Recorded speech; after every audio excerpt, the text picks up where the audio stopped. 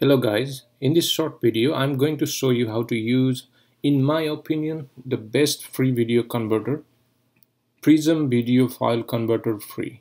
It is available for both Mac and Windows and um, we can easily download and install it by going to the official site uh, which is uh, here um, that I have already opened. You can download the free version from here. There is a better version also. But uh, for most of the cases uh, it should work. And I have found this is this is best of the several options. So uh, for the Windows uh, that's how you install. Um, you you can do the same for the Mac as well but there is another option for the Mac. You can go to the App Store and search for this. Uh, I have already searched and um, installed that's why you see open here.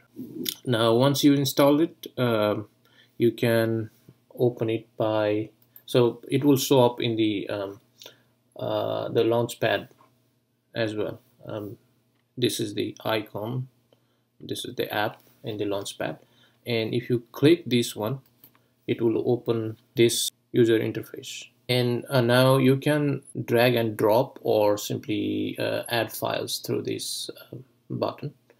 Uh, the easiest uh, I find is the drag and drop.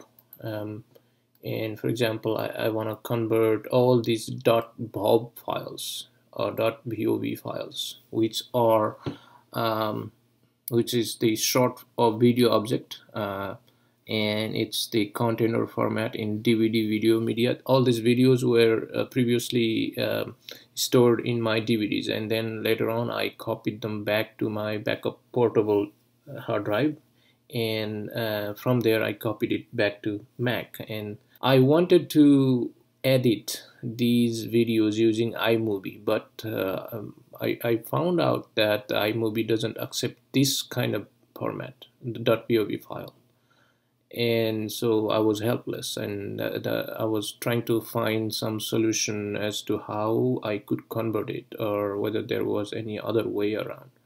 And um, finally uh, I realized I had to convert it to the acceptable format. There are several acceptable formats uh, uh like the .mov or, or, or MP4 etc this is such a nice software. You can select uh, either only one file or several files and um, you can work on all of them all at the same time.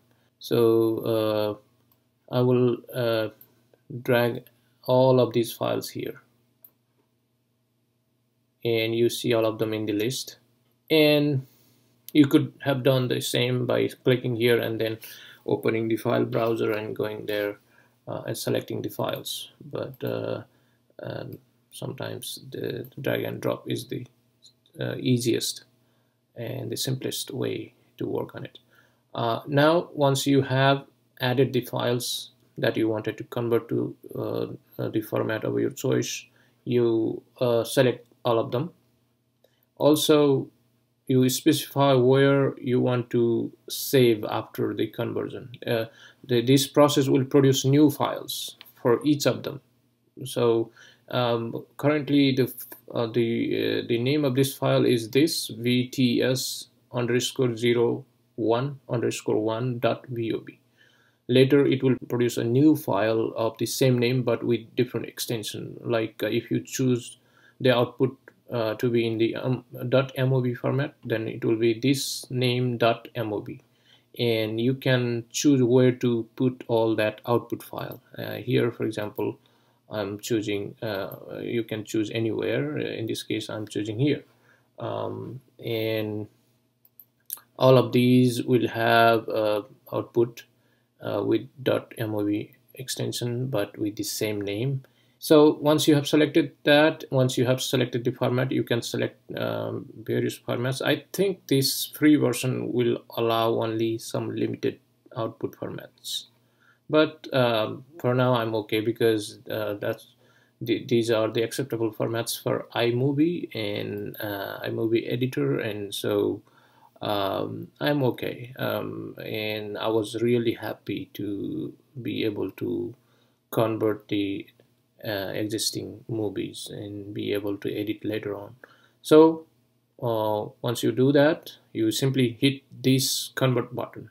There are many other options uh, but I didn't need them for now. So you may explore them and learn more about it but uh, for now I just wanted to show you how to convert from one format to the uh, other um, here uh, from .vob to .mov now uh, let me hit so now it will take some time to convert all of these files. And once uh, it is done you will have all these new output files that you can work on. So that's how you do it. Um, I hope you can do that as well. Thank you so much